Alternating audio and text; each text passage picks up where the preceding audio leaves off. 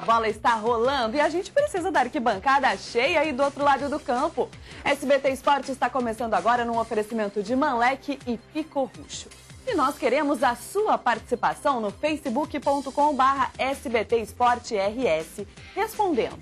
Se você fosse falar com os jogadores na preleção, naquele momento do abraço antes de entrar em campo, o que você pediria para o grupo do Grêmio para motivar os atletas antes do jogo decisivo de amanhã?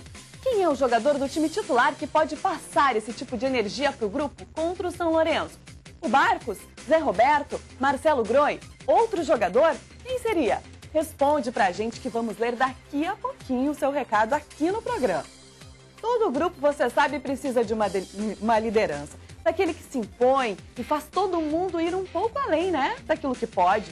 No Grêmio tem um menino que sabe como se faz isso. O problema é que ele ainda não está no time principal. Ainda.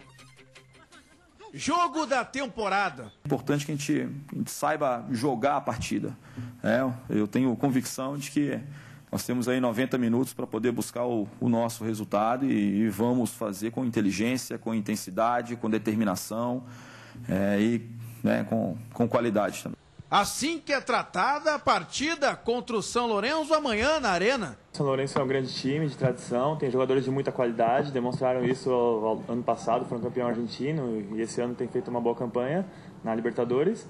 E a gente vai ter que atacar eles, vamos dar tudo que a gente tem, vamos ter que jogar com muita raça, muita vontade. Esquecer tudo o que passou no gauchão e limpar o retrospecto de três derrotas nos últimos jogos com a equipe principal. Temos que focar nessa partida, esquecer o que passou, né? bola para frente. A gente, o ano tem, tem, tem sido um ano bom, a gente tem jogado bem. E nada melhor que pegar o exemplo dos jovens, jogadores que buscam lugar ao sol todos os dias. Força, garra, determinação Ingredientes que terão que se fazer presentes com o Grêmio na quarta-feira para conquistar a vantagem dos dois gols e a classificação para a próxima fase da Libertadores. Algo que já foi visto nas categorias de base do tricolor. A solução está em casa, na equipe sub-17 que começa hoje a disputar as finais da Copa do Brasil contra o Atlético Mineiro. Na semifinal contra o Fluminense, antes da bola rolar, o zagueiro Lucas Penteado mostrou algo a mais. Deixa minha família lá em Porto Alegre pra quê, cara? Deixa tua família em São Paulo, aqui em Brasília. Pra quê? Pra chegar aqui e perder? Eu não vou perder. Eu vou honrar a camisa que eu tô vestindo. Eu vou arrastar minha bunda no chão vão arrastar. A gente vai Motivação, acho que estando ali é fazendo o que a gente gosta. Isso é uma coisa comum que a gente faz todos os jogos. E ali era uma partida muito importante, que a gente precisava de um resultado que para muitos parecia impossível, mas a gente conseguiu e graças a Deus a motivação foi grande e o jogo foi melhor ainda. O que, que dá para passar de lição para esses caras que já ganharam espaço no que vocês estão procurando? É a motivação para quem está ali dentro. Eles já chegaram, eles chegaram onde eles queriam, tal, tá, profissional, então vão jogar um jogo de Libertadores e acho que nada mais motivante do que isso, né? Tá vestindo a camisa do Grêmio e podendo estar tá fazendo um jogo importante. A tinta e o pincel estão na mão dos jogadores para colorir a América de azul pela terceira vez. E Dart, dá um oizinho pro pessoal de casa e me responde. Um Lucas Penteado no time principal, por favor, só para fazer essa orientação. Muita gente fala, Débora, que é, é, esse é um dos problemas de Grêmio Internacional no momento, né, de não contarem com jogadores oriundos da, da sua base, dessa meninada aí porque passa, sabe melhor a história do clube, sabe o que significa uma vitória para o torcedor, interpretam de uma forma mais real. É, ele ainda diz, né? Eu deixei minha família lá em Porto Alegre por quê? Vocês deixaram a família de é. vocês longe por quê? É, eles sentem o que eles estão vivendo. Eu acho que falta isso. E nos grandes títulos do Grêmio sempre houve uma mescla. Se você for pensar bem, Débora, daqueles jogadores uh, que foram criados no clube, tiveram anos ali, né, desde meninos, eh, com aqueles mais experientes, os forasteiros. Né? Hoje o time do Grêmio é praticamente de forasteiros, com exceção do goleiro, se não estou equivocado, né? Mas a o gente Luan já veio de semi-pronto também. É, não, era... não é formado é. na base do Grêmio. Daqui a pouco tempo não tem essa identificação que a gente viu, por exemplo, no Lucas Coelho no, no domingo, né?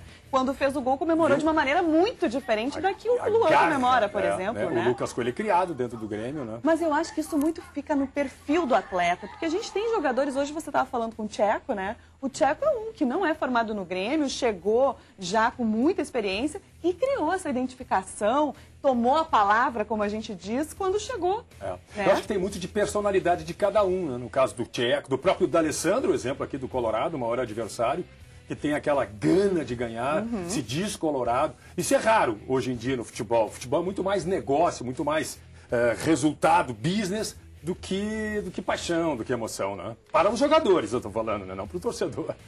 Força dentro e fora de campo. É hora da torcida fazer a diferença? Só um caldeirão na arena pode atordoar ainda mais o adversário. E a gente tem aí separado os maiores públicos da Casa Nova Tricolor. O jogo com o maior número de torcedores até aqui foi contra o Atlético Paranaense pela Copa do Brasil em novembro do ano passado. 43.899 torcedores. Nesse ano, 0 a 0 contra o Nils pela Libertadores reuniu 43.628 tricolores no estádio, o maior público de 2014. A final contra o Inter no Gauchão garantiu o segundo lugar em lotação nessa temporada. Foram 39.874 torcedores na arena. E o jogo contra o Nacional de Medellín, ainda pela fase de grupos da Libertadores, acolheu um público de 33.640 pessoas. São só alguns exemplos para que esses números sejam ainda maiores amanhã, véspera de feriado, né, Vidarte? Eu tenho certeza que esse é mais um ingrediente para que a arena esteja lotada. O que me preocupa é que nesses exemplos que vocês pegaram aí, né, não tem nenhum de dois gols de diferença. É. Apesar do estádio cheio, portanto, muito importante que o torcedor entenda isso, que jogue junto, que empurre o Grêmio a uma vitória, com paciência, porque os argentinos têm por tradição, não é? Fazer catimba, de segurar o jogo, provocar o adversário. Isso o Grêmio tem que ter muita atenção e o torcedor também para não deixar o time nervoso em meio ao jogo. É jogo de paciência, furando um no primeiro tempo, o outro no segundo tempo, está classificado o Grêmio. Vamos para o Facebook, o pessoal participando aqui, falando o que diria para os jogadores né, na entrada de campo. A Renata de Mello diz que vai nos jogos há anos. Viu muitos jogadores passaram pelo time e olhando esse atual Grêmio hoje, o que precisa mesmo para motivar é alguém mostrar a raça e a imortalidade do time do Grêmio. Ela acha que, sem dúvida, é o Marcelo Groi que pode fazer isso, que é o jogador mais antigo. Concordo. Ela pede um beijo para o filho Vitor.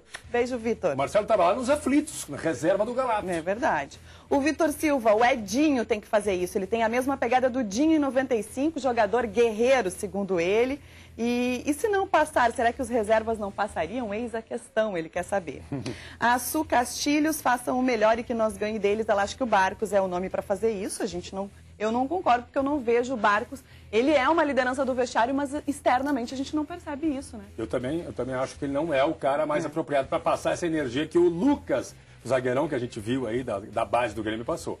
Ah, o Renan Lanes, que eles fizessem o melhor de si, que a gente estaria torcendo por eles, que não há vitória onde há luta, ele é de Dom Pedrito, não falou um jogador específico. O Michael Mandicaju diria para eles pensarem tudo aquilo que passaram até hoje para chegar até ali. Muitos queriam estar ali no lugar deles, que cada um deu o seu melhor, está dizendo o Michael, e ele também concorda que o Edinho seria o capitão dele e o Zé Roberto também um nome para motivar o grupo todo. Aliás, o Zé Roberto é um dos nomes. A Fabielle Luiz quer um beijo para o filho Vinícius.